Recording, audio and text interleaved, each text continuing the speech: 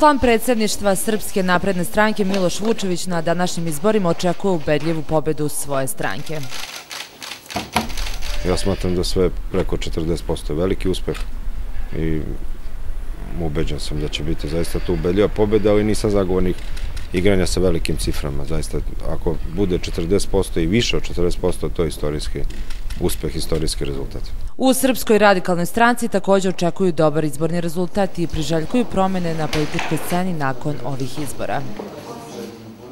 Moje očekivanje je da će Srpska radikalna stranka da zabeleži dobar izborni rezultat, jer je krajnje vreme da posle dve godine pauze se glas naroda ponovo čuje u Narodnoj skupštini Republike Srbije, a Srpska radikalna stranka je glas i snaga srpskog naroda već četvrt veka ali ono što je odlučujuće za Srbiju, a i za Srpsku radikalnu stranku, da, da imamo jednu trećinu poslanika kako bi sprečili promene Ustava, koji je u svakom slučaju jedna od niza katastrofa koja treba da zadesi Srbiju.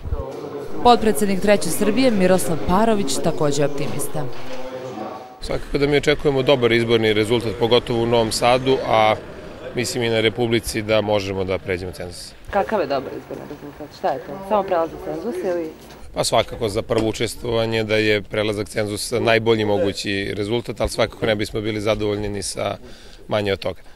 U pokretu dveri su uvereni da prelaze cenzus ukoliko, kako navodi Kondić, ne bude bilo izborne krađe. Mi smo uvereni u to da prelazimo cenzus realno, ali već sam vam nabrao razne, razne ovaj, prepreke. Ono što mi kao pokret ćemo učiniti da bismo predupredili krađe koja se desila prošlim izborom jeste da ćemo večeras već oko 20 časova biti ispred Rika i nadamo se da ćemo, koliko je to moguće, u ovoj državi sprečiti novu krađu. Ko će s kim u skupštinske klupe, navodno se još uvek ne zna. U strankama pak znaju s kim sigurno neće. Pa mislim smo se do sada razumeli sa gospodinom Draganom Đilasom.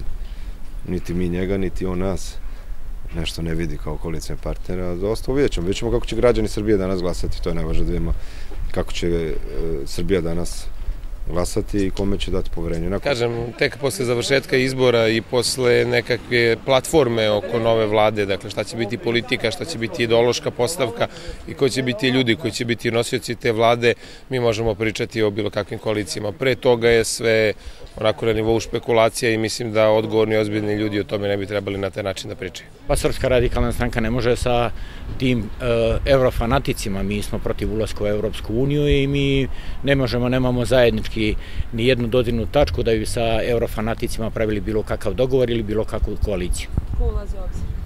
Pa oni koji su protiv ulazka u Evropsku uniju, oni su prepoznativi na političkoj sceni, ne i ne dolazi čak ni obzir ni oni licemeri politički koji kažu ni jedno ni drugo, jer e, nije Srbija željeznička stanica pa da ima dva ulaza i dva izlaza. Da vam kažem, već sam to nekoliko puta govorio na televizijama, dveri nisu ideološka sekta koja neće ni sa kim, ali je u ovom trenutku činjenica da su i takozvane patriotske stranke u stvari kvazi patriotske. I nema tog patriotskog pokreta i stranke kojima nismo ponudili koaliciju, ali i lični interesi su ispred toga. Oto da dveri nemaju trenutnu koaliciju, ja nisam mogućnost da sad o tome govorim.